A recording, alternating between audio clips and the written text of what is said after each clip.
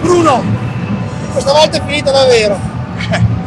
Adesso sì. Eh, potevamo fare qualcosa di più oggi anche, abbiamo avuto sia nel primo che nel secondo set le nostre opportunità, siamo stati avanti nei due set, eh, il terzo abbiamo ripreso alla grande, il quarto loro hanno spinto tanto in battuta lì all'inizio con Keita, sono sfuggiti e non siamo riusciti a, a battere come stavamo battendo prima. Eh, eh, l'impianto una, una stagione, eh, come abbiamo già detto prima, no? con eh, più bassi che alti. Mi spiace finire così, però sono sicuro che la squadra non ha mai mollato, forse non è riuscita a trovare il miglior gioco, però ha sempre lavorato, ha sempre, si è sempre dedicata al massimo e questo fa onore almeno questo e sì adesso adesso è finita, però come ho detto già tante volte continuerò da tifoso e, e seguirò sempre Modi. Cosa succede domattina per te? Cosa, cosa riparte? Che, che, capitolo è quello che inizia domani?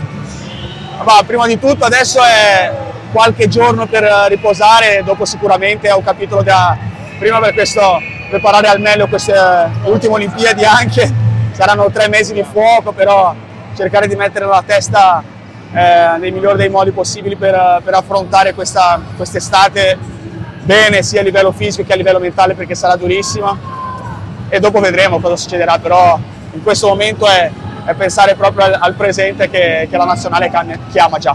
Buona sorte! Obrigado! Grazie. Tanto personalmente insomma, abbiamo visto una partita molto difficile da parte tua. Molto difficile sì, sono contento però che sia entrato Roberto che ha dato il suo e è riuscito a, dare, a prendere minuti in campo, ha giocato molto bene, sono contento. Poi certo io potevo fare meglio, potevo entrare meglio in partita, però è la, una partita di, di, una lunga serie di quest'anno, quindi eh, spiace che sia andata così, anche per Bruno che è l'ultima insieme a noi, eh, però è così, adesso bisogna resettare questo anno difficile eh, però prendere le cose positive perché ci sono state molte cose positive e partire io personalmente per la nazionale poi per l'anno prossimo. Ecco, è difficile forse adesso fare un bilancio no, della stagione, se quello della stagione scorsa era un bilancio ovviamente positivo, quest'anno vi è rimasto poco in mano.